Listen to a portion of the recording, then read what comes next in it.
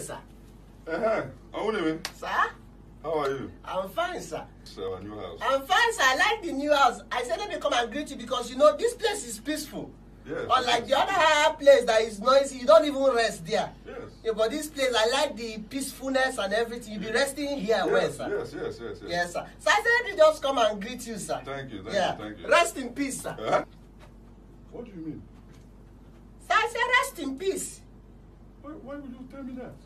No, sir, you know it's because this place is very peaceful and you don't rest. So you rest in peace in this house. You want to kill me? Hey! Kill what? Sir, I cannot kill you now. Why, why would you tell me to rest in peace?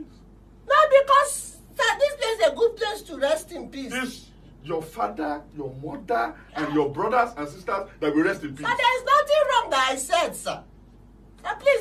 Come and be going, sir. R.I.P., sir. Come, come, come